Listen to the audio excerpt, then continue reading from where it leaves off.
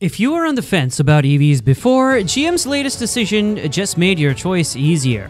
Since the company decided to go all electric, the legacy automaker has been making headlines for all the wrong reasons. And unfortunately, it has done so once again. CEO Mary Barra's most recent announcement made it clear that General Motors is struggling to make and sell its EVs. The company is going into panic mode, and here are five indicators that GM can't sell EVs anymore. Number 1. A move back to PHEVs. One of the main reasons GM supposedly stood out from other legacy automakers in the last five years was its decision to go all in on electric vehicles.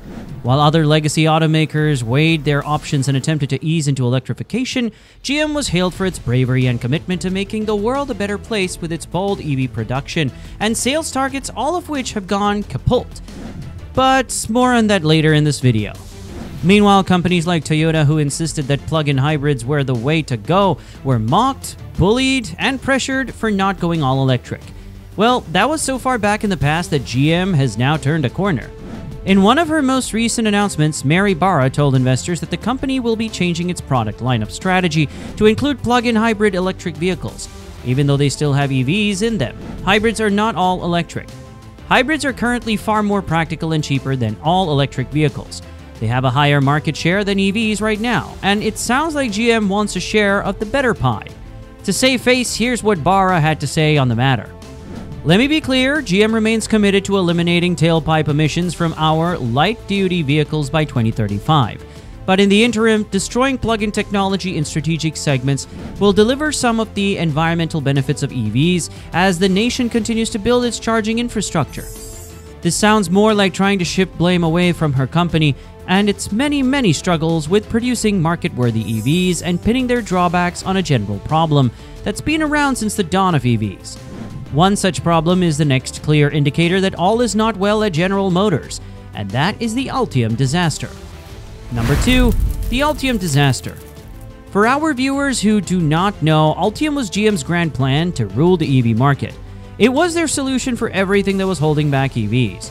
From range anxiety to battery charging times, the Ultium battery platform was meant to fix everything, and EV lovers were more than excited to see all that had been advertised come to life.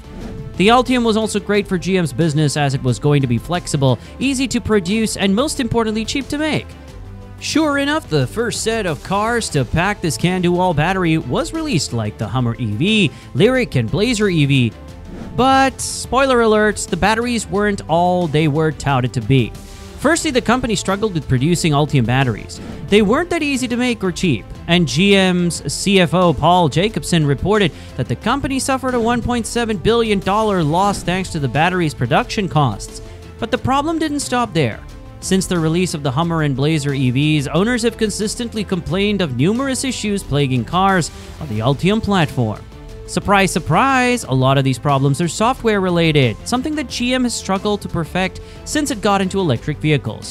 While these problems are sometimes unavoidable, expert car reviewers Edmunds reported that their Blazer EV had around 23 different issues after only using the car for two months, with problems ranging from charging issues, problems with the infotainment system, and almost every module in the car.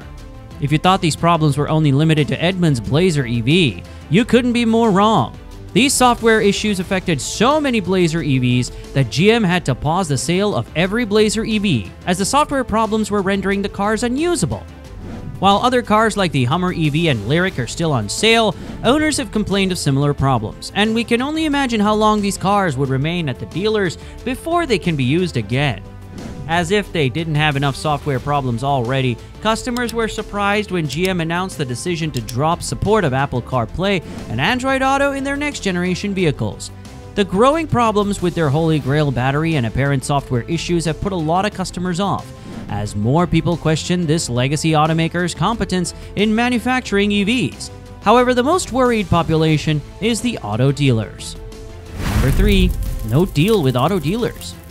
While Biden and the White House have remained blind to the progress of EVs, many auto dealers remain skeptical about the EV revolution, and many of them refusing to take on the sales of EVs amid federal pressure.